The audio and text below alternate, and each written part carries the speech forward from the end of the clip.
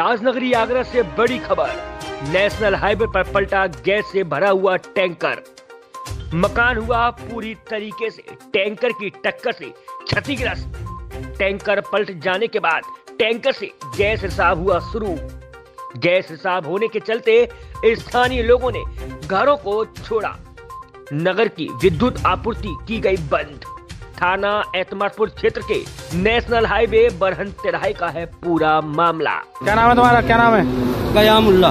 क्या कैसी गाड़ी लेके जा रहे थे? कहाँ लेके जा रहे थे? सर फरुखाबाद मथुरा से फरुखाबाद। अच्छा क्या था गाड़ी में? गैस। कैसे पलटी है फिर ये? स्टेयरिंग फेल हो गया हाँ? सर स्टेयरिंग फेल हो गया। स्टेरिंग फेल हो गया है? हाँ। मतलब गैस लीक भी हो रहा है क्या? हाँ लीक हो रहा है सर। गैस लीक हो रहा है? हाँ। ठीक है।